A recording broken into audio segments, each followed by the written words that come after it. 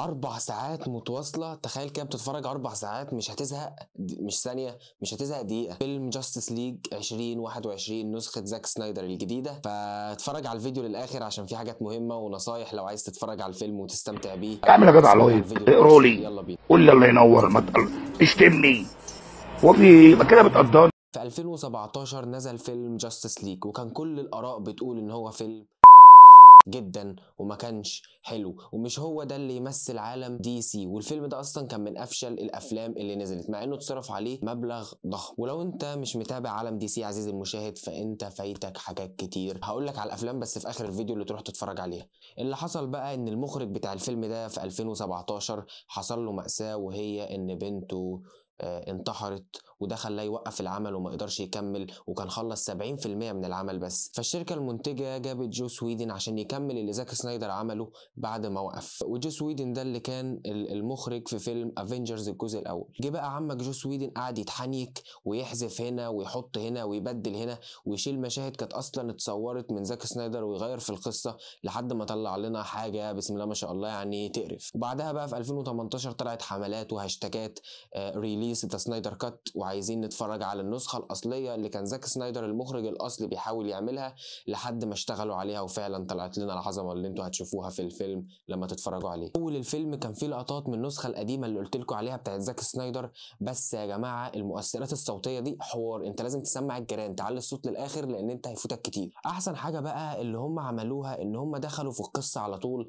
من غير مط وحشو وعك وعجن وأي حاجات ملهاش لازمة. ومع أول باتل في الفيلم وأنا عرفت إن أنا هتفرج على حاجة عظمة. وفي فرق على فكرة بين النسختين عشان ما حدش بس يقول إن هم جابوا مشاهد وحطوا مشاهد كده وخلاص لأ في حاجات كتير اتغيرت أصلا في في القصة وطريقة الحكاية وكل حاجة. لأن في شخصيات أصلا أنا ما كنتش مثلا مهتم بيها بربع جنيه. الشخصيات دي ما اتحكاش عنها حاجة وكانت مهمشة زي سايبورج مثلا إن أنت تتفرج عليه. وبعد ما تعرف شخصيته لأ هيبقى ليه دور جامد في الفيلم. وأنت أصلا ممكن تبقى عايز تتفرج لفيلم ليه لوحده. هو ده العامل الرئيسي لنجاح أي شخصية إن أنت بتقدمها صح وما تخليهاش مهمشة. أنت مش هتخسر حاجة لما تحكي قصتها بكل التفاصيل الناس عايزة تتفرج واللي مش عايز يتفرج هيقدم الشوية دول وخلاص. بس هم فعلا عملوه بطريقة صح ومن غير كروتة مش زي النسخة القديمة. وعدى شوية Wonder Woman ولو أنت مش عارف مين Wonder Woman فآخر الفيديو أنا هفهمك كل حاجة.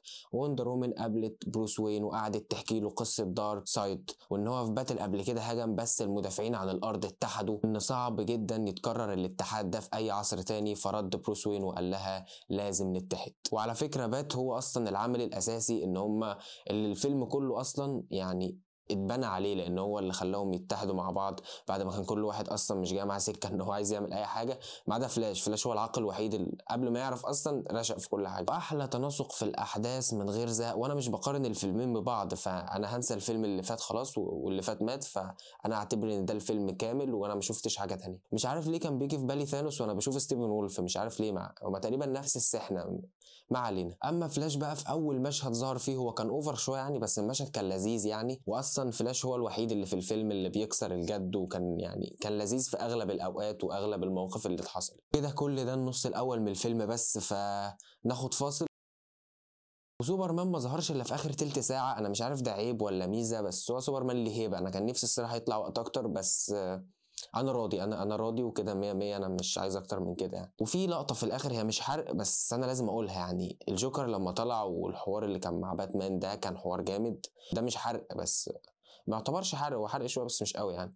وتجربتي للفيلم فأنت أكيد فهمت أربع ساعات متواصلة ما زهقتش ولا دقيقة. فبالنسبة لي الفيلم ده من أفضل أفلام ال comic book ممكن مثلا top five اللي أنا اتفرجت عليهم. نصايح بقى عشان تتفرج على الفيلم ده وفعلا تستمتع بيه والتجربة تبقى بص ممتعة لأقصى درجة. واحد إن أنت لازم تروح تتفرج على الثلاث أفلام دول الأول. هتتفرج على فيلم Man of Steel وهتتفرج على فيلم Wonder Woman وفيلم Batman v Superman تاني حاجة بقى وهي إن أنت لازم تتفرج على شاشة كبيرة. ما ينفعش تتفرج على شاشة الموبايل لأن أنت أربع ساعات أكيد هتزهق وأكيد عينك هتوجعك وأنت بتتفرج على شاشة الموبايل كل ده وممكن تقول الفيلم الفيلم ممل أو طويل. تالت حاجة وال quality مهمة جدا وأنت بتتفرج.